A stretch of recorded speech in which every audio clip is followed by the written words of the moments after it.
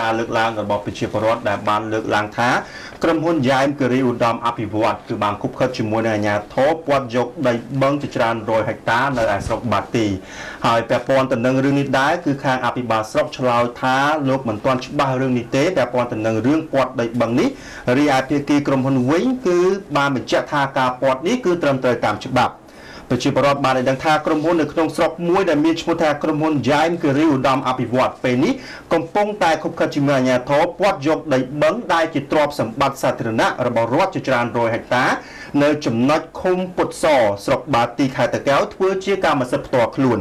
ក្រុមអ្នកភូមិបានលើកឡើងថាដីបឹងនៅចំណុចទំនប់មាខុនអ្នកតាទ្របឃ្លាំងនិងចំណុចហងខ្លាដែលជាតំបន់សម្រាប់ត្រីពងកូនពេលនេះ ត្រូវបានក្រុមហ៊ុនបោះបង្គោលពាត់យកតាមរយៈការខុបខិតគ្នាជាប្រព័ន្ធជាមួយនឹងអាជ្ញាធរបើផ្អែកតាមប្រភពបានឲ្យដឹងថាដីក្បែរក្បែរភូមិដែលគ្មានប្លង់គឺត្រូវបានប្រជាពលរដ្ឋធ្វើស្រែប្រាំងនៅពេលរដូវទឹកស្រកហើយក្រុមហ៊ុនខាងលើបានទិញដីស្រែទាំងនោះជាលេសឈានទៅបោះបង្គោលពាត់យកដីបឹងទាំងមូលតែម្ដង ទាក់ទងទៅនឹងបញ្ហានេះលោកយ៉ែមរចនាអគ្គនាយកក្រុមហ៊ុនយ៉ែមឧត្តមគិរីអភិវឌ្ឍបានថ្លែងថាក្រុមហ៊ុនរបស់លោកមិនមែនធ្វើទង្វើដោយក្រុមហ៊ុន Pha Image ឬក៏ក្រុមហ៊ុនហេងអភិវឌ្ឍនោះទេក្រុមហ៊ុនរបស់លោកបានប្រើប្រាស់លុយទិញដីពីប្រជាពលរដ្ឋត្រឹមត្រូវតាមច្បាប់ដោយមានឯកសារពាក់ព័ន្ធជាមួយនឹងអាជ្ញាធរនិងប្រជាពលរដ្ឋ ក៏ប៉ុន្តែបើទោះបីជាដូច្នេះក្តីលោកអុករីដែលជាអភិបាលស្រុកបាទីបានថ្លែងថាលោកមិនទាន់ដឹងច្បាស់រឿងក្រុមហ៊ុនខាងលើពាក់ព័ន្ធទៅនឹងដីបឹងនោះនៅឡើយទេតែលោកបានទទួលពាក្យស្នើសុំពីភាគីក្រុមហ៊ុនសុំបោះបង្គោលព្រំសម្រាប់កំណត់ទីតាំងដីកម្មសិទ្ធិរបស់ក្រុមហ៊ុន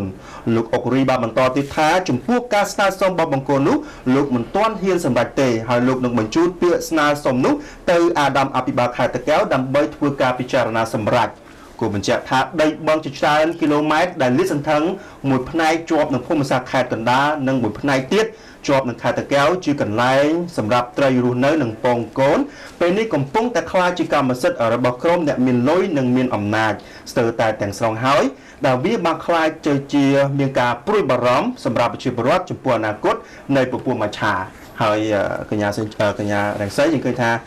បញ្ហានេះគឺមានលក្ខណៈចម្រូងចម្រាសបាទប្រជាពលរដ្ឋបានលើកឡើងថាក្រុមហ៊ុនដែលមានឈ្មោះថាយ៉ែមការីឧត្តមនេះគឺគាត់ឧត្តមអភិវឌ្ឍន៍គឺបានខុបខិតជាមួយអាជ្ញាធរនៅក្នុងការពាត់យកដីបឹងរាប់ជាច្រើនជាច្រើនរយហិកតាបាននៅឯស្រុកបាទីឯណោះហើយក្រុមហ៊ុនគាត់ថាគាត់មានឯកសារអីត្រឹមត្រូវនៅក្នុងការទិញដីពីប្រជាពលរដ្ឋក៏ប៉ុន្តែគាត់បែរជាទៅពាត់ដីបឹងទៅវិញដីប្រជាពលរដ្ឋផ្សេងតែដីបឹងផ្សេងហើយអញ្ចឹងទេយើងនឹងរងចាំធ្វើបច្ចុប្បន្នភាពរឿងនេះបន្តទៀតក៏ប៉ុន្តែបើតាមច្បាប់រដ្ឋធម្មនុញ្ញរបស់ប្រទេសកម្ពុជាយើងដីបឹងបឹងគឺជាសម្បត្តិរបស់រដ្ឋมันអាចមានជនណាម្នាក់យកមកធ្វើជាកម្មសិទ្ធិបានទេក្នុងចំណោមសម្បត្តិសាធារណៈរបស់រដ្ឋជាច្រើនទៀតហើយយើងនឹងធ្វើរឿងនេះបន្តទៀតថាតើមានការឆ្លើយយ៉ាងម៉េចពាក់ព័ន្ធទៅនឹងការពាត់យកបាត់ដីបឹងធ្វើជាសម្បត្តិឯកជននេះបាទ